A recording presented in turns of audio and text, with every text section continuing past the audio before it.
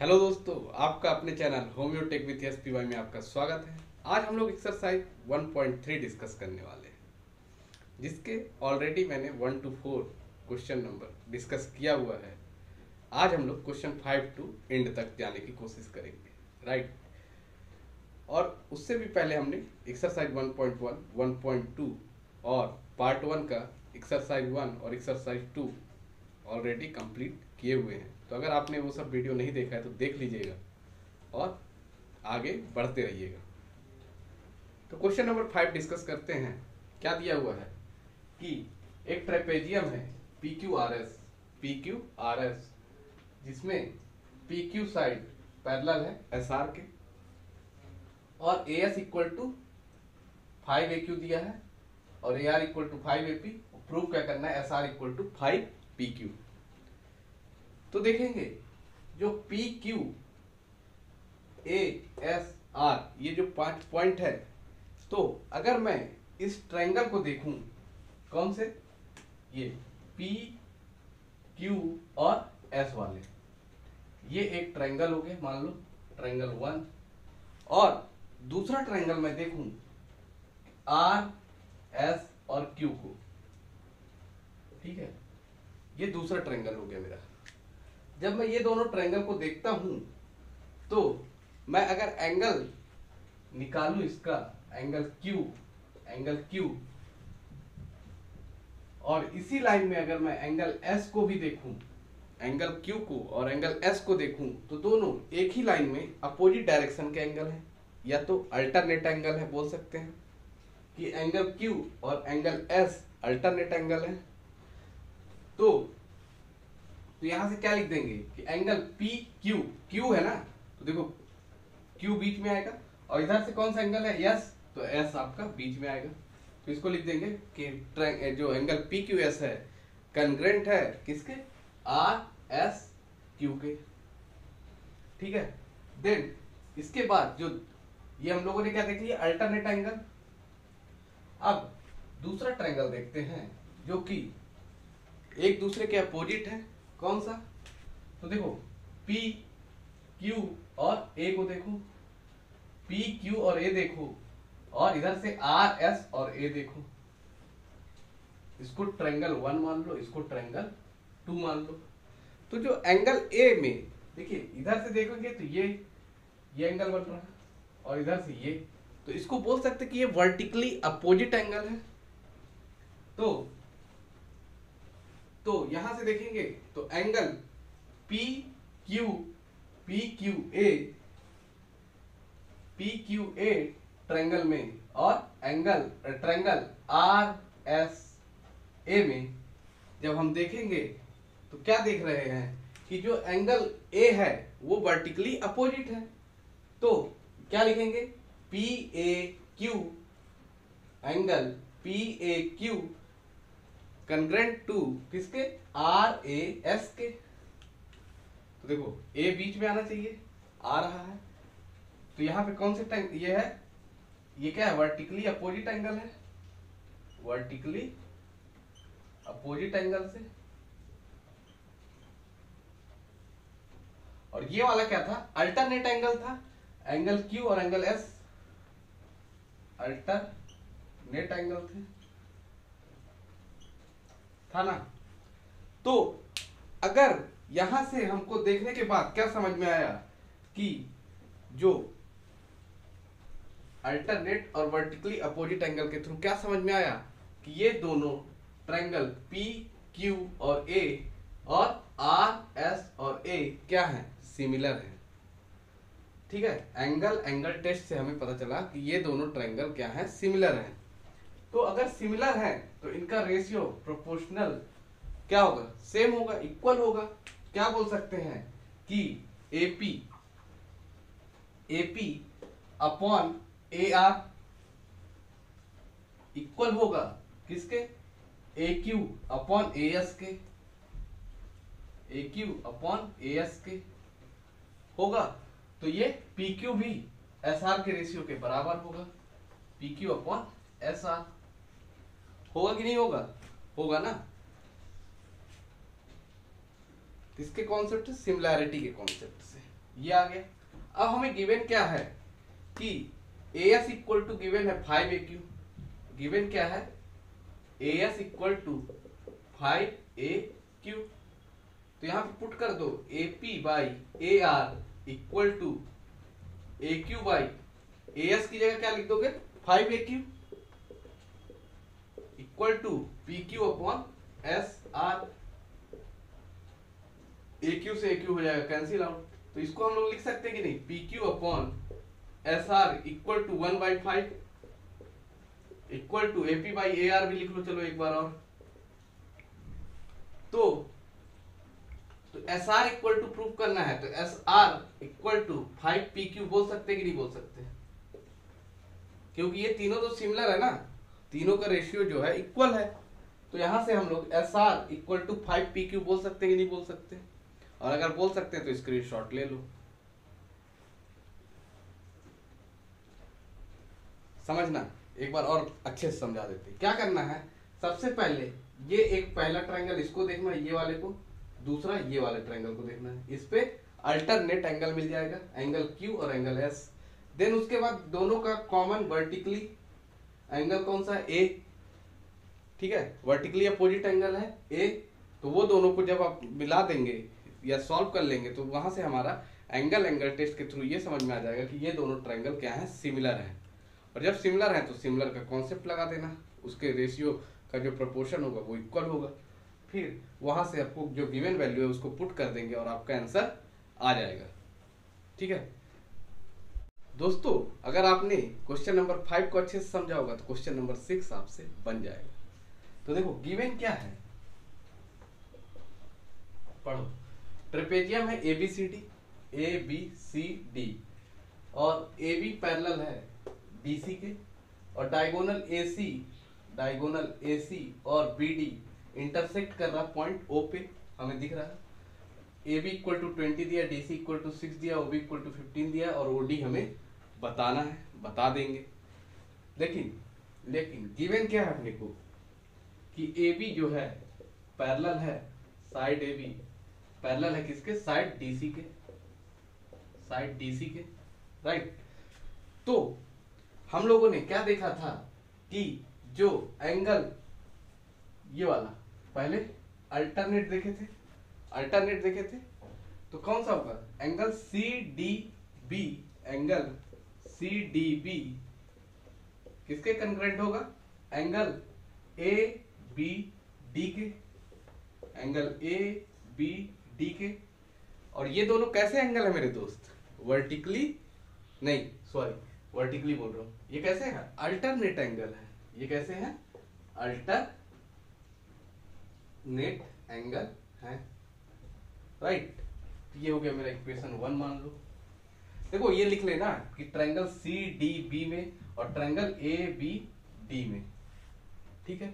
Then इसके बाद हमने जब अपोजिट या अल्टरनेट एंगल देख लिया तो अब मुझे ये दोनों ट्रायंगल को देखो, ये triangle one C O D और ए ओ बी को।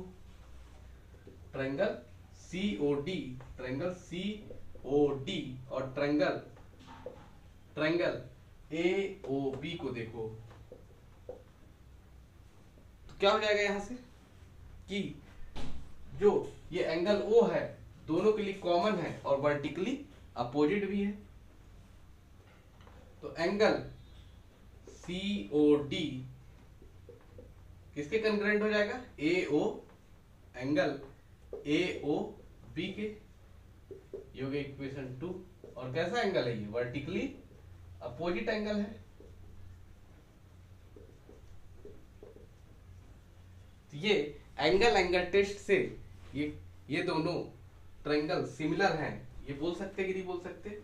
कि triangle C O D similar है ट्रायंगल ए ओ बी के।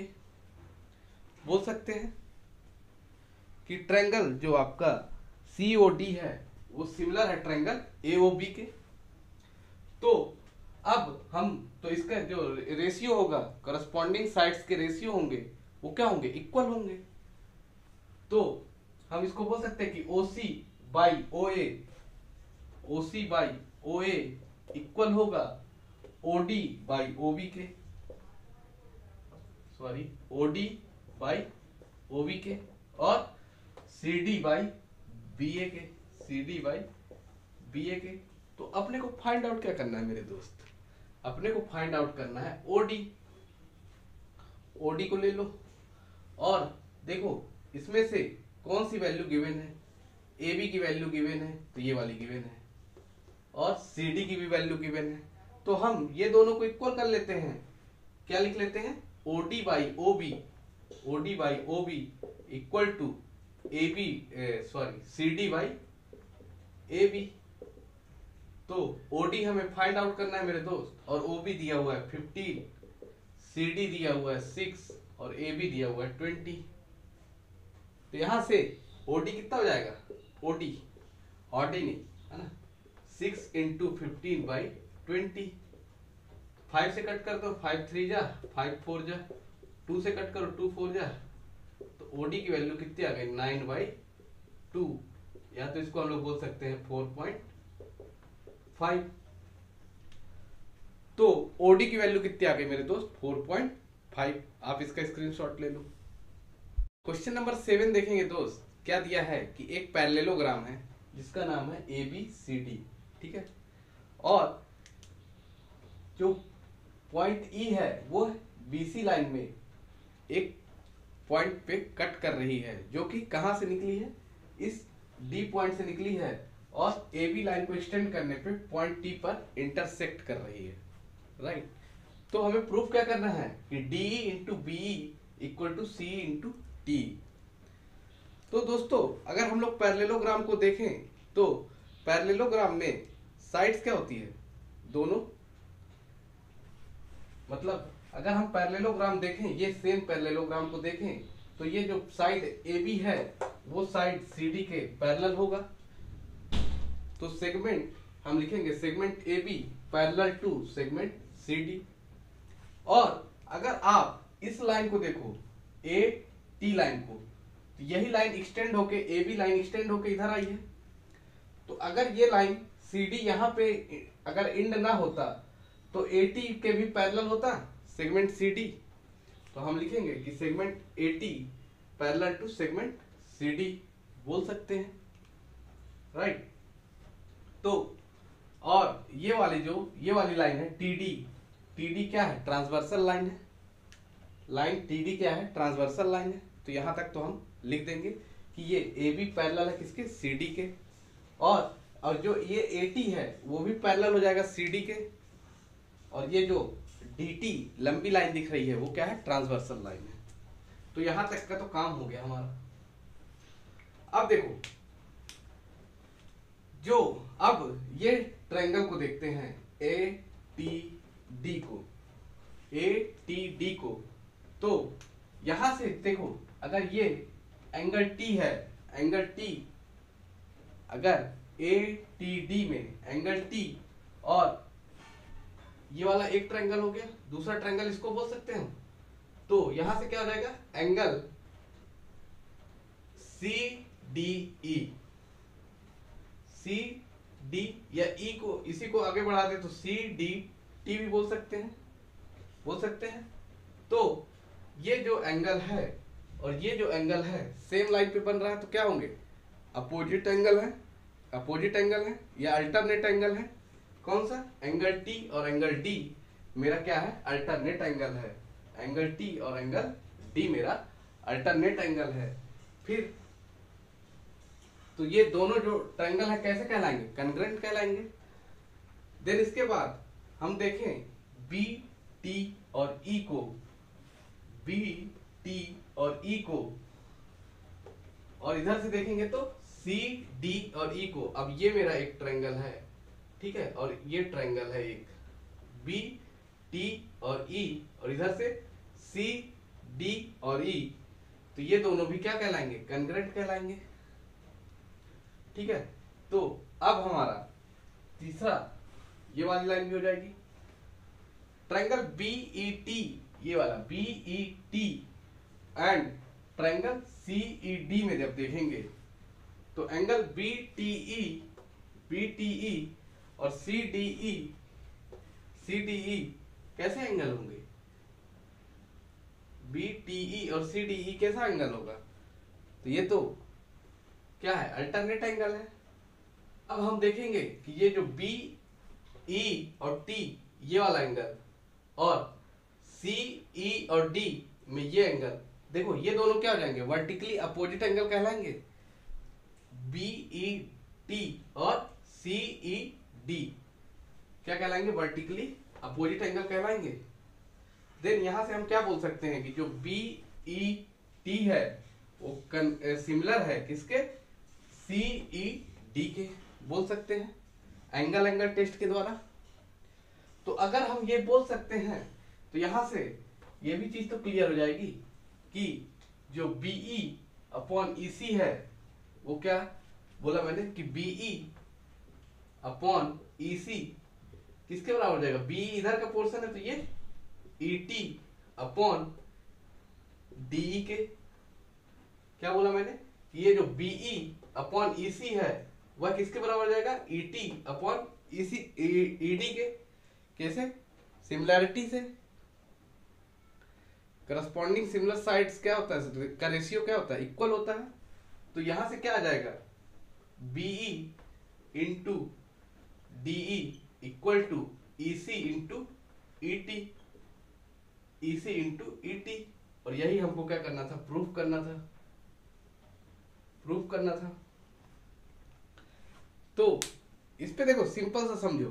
पहले क्या किए कि हमने ये अल्टरनेट एंगल निकाल लिया। एंगल टी और एंगल डी क्या है? अल्टरनेट एंगल है।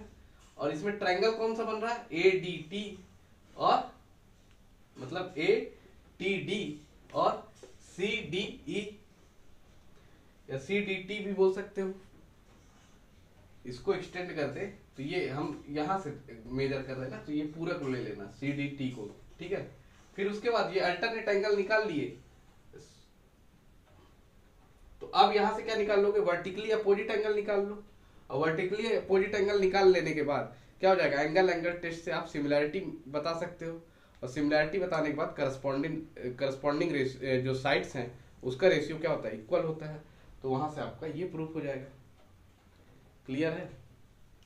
स्क्रीनशॉट ले लो। नेक्स्ट क्वेश्चन देखेंगे, क्या दिया है कि in the figure segment A C और सेगमेंट बीडी इंटरसेक्ट कर रहे हैं पॉइंट पी पे.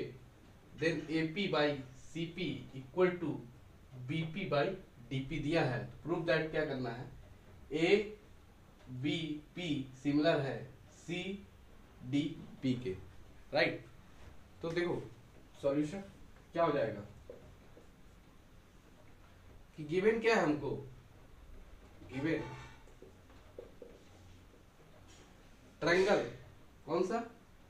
A P B triangle. A P B and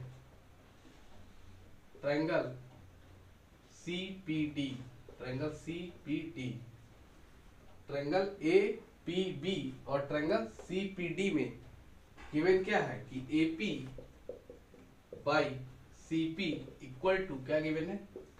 B P by B P by D P ये देखो A P by C P equal to B P by D P तो ये यहाँ से हमको ये दिख रहा है क्या? अगर ये ऐसा रेशियो सेम है करस्पॉन्डिंग साइड का रेशियो सेम है तो वर्टिकली अपोजिट एंगल वर्टिकली जो एंगल है वर्टिकल अपोजिट एंगल वो क्या है? कि कॉन्सेप्ट से ये चीज़ क्लियर हो जाएगी कि नहीं होगी? कि एंगल जो पी है, यहाँ पे वर्टिकली अपोजिट एंगल है। तो angle A P B congruent होगा किसके? सी पी डी के। कौन सा? Vertically opposite angle vertically opposite angle ठीक है? तो यहाँ से हम लोग बोल सकते कि नहीं बोल सकते, कि ट्रायंगल जो A P A B P A B P similar है ट्रायंगल सी डी पी के। किस, कौन सी टेस्ट ऑफ़ सिमिलैरिटी से? Side angle side similarity test से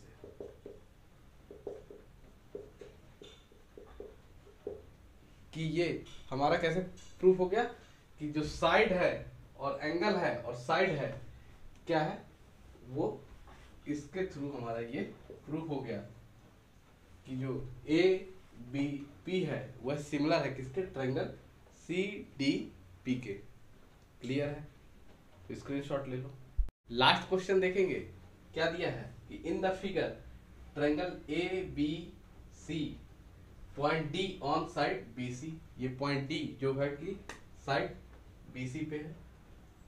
सच दैट जो एंगल बी ए सी है, जो एंगल ए है और एंगल डी है, वो क्या है? इक्वल है। तो प्रूव क्या करना C A square equal to C B into C D right तो क्या देखेंगे कि जो ट्रायंगल है हमारा, वो कौन कौन सा है? देखो, अगर मैं सबसे बड़े ट्रायंगल की बात करूँ तो बी ए सी और अगर मैं दूसरा इस ट्रायंगल को हटा दूँ तो देखो ये एक ट्रायंगल बच रहा है ए डी सी तो in triangle B A C and A D C in triangle B A C and triangle A D C बड़ा वाला ट्रायंगल फिर इसके बाद ये वाला ट्रायंगल ठीक है? देन गिवन क्या है हमको? कि angle B A C concurrent है एंगल ए डी सी के। ये हमको गिवन है। ये हमने लिख दिया। अब देखो यहाँ से कि जो, अब जो हमारा ये एंगल ये एंगल देखो अलग अलग है। दोनों ट्रायंगल के लिए जो कॉमन एंगल है वो कौन सा है? तो देखो, इसमें बी ए सी में ये सी एंगल आ रहा और इधर ए डी सी में भी ये सी आ रहा। तो दोनों का कॉमन एंगल कौन सा है? एंगल सी दोनों का कॉमन एंगल है। तो A C B angle A C B are concurrent to angle D C A ये चीज़ क्लियर है कि एंगल सी मेरा क्या है? कॉमन एंगल है। तो angle A C B concurrent to angle D C A तो यहाँ से क्या है? जब ये दोनों चीज़ें हो गई तो यहाँ से हम बोल सकते हैं कि एंगल जो बी ए सी सिमिलर है किसके? ए डी सी के। B A C B A C similar हो जाएगा किसके? ए डी सी के राइट तो हमें पता है कि जो करस्पॉन्डिंग साइड्स होती हैं, वो जो उसका रेशियो होता है, वो क्या होता है? प्रोपोर्शन में इक्वल होता है।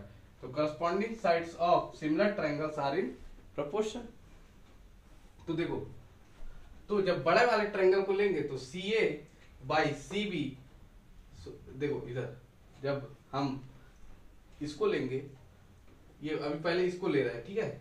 जैसे जिस हिसाब से लिखा है तो C A by C D equal to C B C B by C A तो C A by C D equal to C B by C A तो सी ए इंटू सी ए क्या हो जाएगा? सी ए स्क्वायर हो जाएगा। और ये दोनों का क्रॉस मल्टीप्लाई हो जाएगा C B into C D right तो आशा करते हैं दोस्त कि आपको वीडियो मज़ा आया हो। अगर मज़ा आया हो तो लाइक करें शेयर करें। और चैनल को सब्सक्राइब नहीं किया तो सब्सक्राइब कर लें। Thank you for watching this video